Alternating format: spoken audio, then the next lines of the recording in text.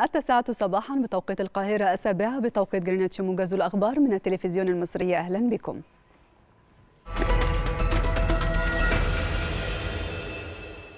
وجه الرئيس عبد الفتاح السيسي ببدء تنفيذ تطوير بحيرة البردويل في إطار مبادرة سيناء البردويل بهدف زيادة إنتاج البحيرة من الأسماك الفاخرة إلى 11 طن سنويا.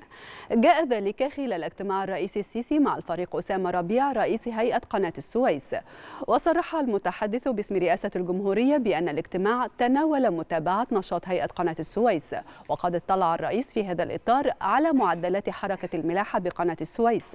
حيث أكد الفريق أسامة ربيع أن قناة السويس الجديدة والتي تم افتتاحها عام 2015 أدت إلى مضاعفة إيرادات القناة السنوية لتتجاوز 7 مليارات دولار سنويا وزيادة عدد السفن العابرة لحوالي 70 سفينة يوميا وهو ما ساهم في جهود دعم الاقتصاد الوطني وتوفير العملة الأجنبية.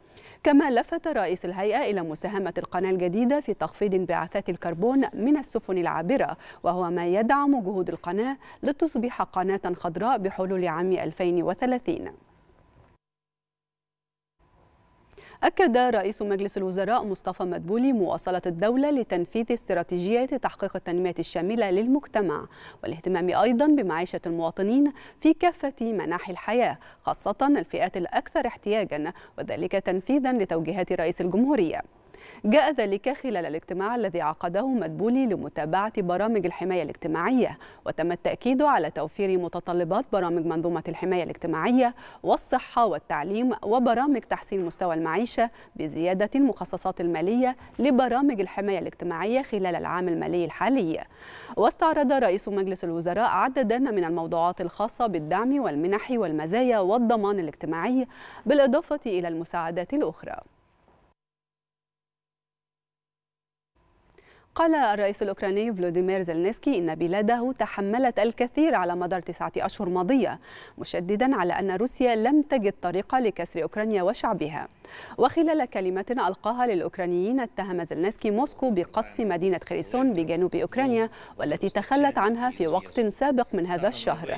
حيث قالت السلطات المحلية إن سبعة قتلوا وأصيب 21 في الهجوم. ولفت أيضا زيلنسكي إلى استمرار وجود مشاكل في إمدادات المياه. ب 15 منطقة في الوقت الذي يتم فيه استعادة الكهرباء والتدفئة والاتصالات والمياه تدريجياً Ситуація з електрикою залишається складною майже в усіх.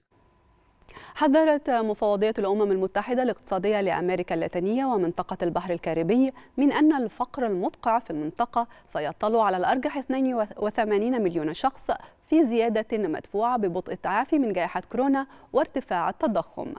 ويمثل الرقم الذي أعلنته المفوضية نحو 13.1% من سكان المنطقة. وقالت الهيئة الأممية أن أرقام الفقر المدقع تشكل نكسة للمنطقة تعيدها ربع قرن إلى الوراء. وفي أكتوبر الماضي توقعت الوكالة نموا بنسبة تفوق التوقعات عند 3.2% في المنطقة لكن هذا النمو يتوقع أن ينخفض بمقدار النصف في العام 2023 مع نمو متوقع عند 1.2%